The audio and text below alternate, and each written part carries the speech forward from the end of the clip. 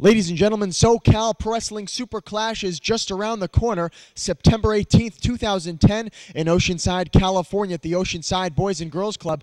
Just signed Johnny Paradise taking on SoCal Crazy. Let's hear from SoCal Crazy. Johnny Paradise. Oh my God, you again. You came. I, I honestly thought that you were out of SoCal Pro. When I beat you for the AWS title, I thought that was it. You did get it back. Fine, no problem. I can live with that life goes on. But now you come back to SoCal Pro, and not only that, but cost me the number one contenders match. All right, Paradise. I'll play your little game this time. I will see you September 18th. Well, SoCal Crazy very confident going into that matchup in what should be an epic encounter at the Oceanside Boys and Girls Club. Now, also in action, we will see six man tag team action as Tommy Wilson teams with Rick Ellis and Peter Avalon to battle it out with the Rock Nest Monsters and their partner, Jason Redondo. Let's hear from one half of the Rock Nest Monsters, Johnny Yuma. What's up, all you SoCal Pro fans? Johnny Yuma here, one half of the SoCal Pro Tag Team Champions, the Rock Nest Monsters. And Good Time and I, we're teaming with a foe turned friend in Jason Redondo as we take on Rick Ellis, Peter Avalon, and Mr. Megastar Tommy Wilson. Super Clash is going to be a huge show, and we're going to have a huge six man tag, and I'm pretty sure us three are going to be able to take care of them no problem. Hope you guys are ready to rock, baby. Because Rockness and Redondo are always ready to roll.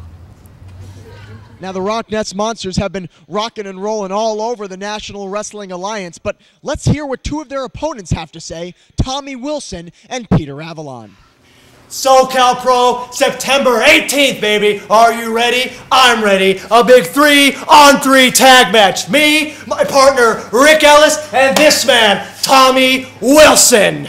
Now, Peter, you know I'm ready because I'm always ready. Yeah. And when we get the Rockness Monsters and Redondo in the ring, good times ribs are gonna break. Oh. Oh, Yuma's head's gonna roll. Ooh. And old man Redondo, I'm gonna stomp him until he's done for.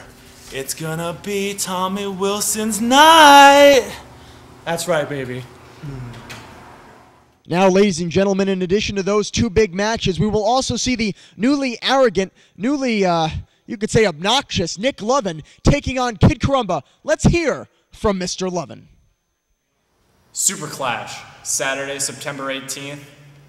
Kid Karumba, you may think you look good on these SoCal Pro advertisements, but when I'm done beating your face in, no amount of photoshopping is going to make you look good.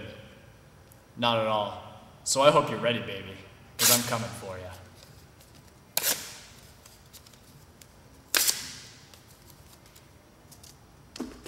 Now, ladies and gentlemen, Nick Lovin seemingly confident as ever and highly obnoxious. Now, moving on to some other matches, we will also see Angel Santos take on Aerial Star. Should prove to be a very interesting contest. Now, moving on from all of this, we've already named four big matches. Let's talk about our double main event. It will be the NWA World's Heavyweight title on the line as Adam Pearce defends that title against Chimera. Chimera has been on an incredible winning streak for months and months and months, and you gotta wonder will Chimera be the guy to wrestle away the NWA title from the Scrap Daddy? Now, of course, the match that everybody's been waiting for, you could say we've been waiting for over a year now. Back at Super Clash 2009, Ricky Mandel turned his back on his tag team partner Hector Canales. Since then, Mandel won the SoCal Pro title and has been dodging and ducking Canales every chance he gets. Well, the dodging and the ducking ends at Super Clash 2010 when Ricky Mandel will finally defend that title against Hector Canales. Ladies and gentlemen, make sure you come on down and check out Super Clash 2010, September 18th at the Oceanside Boys and Girls Club in Oceanside, California. We will see you there.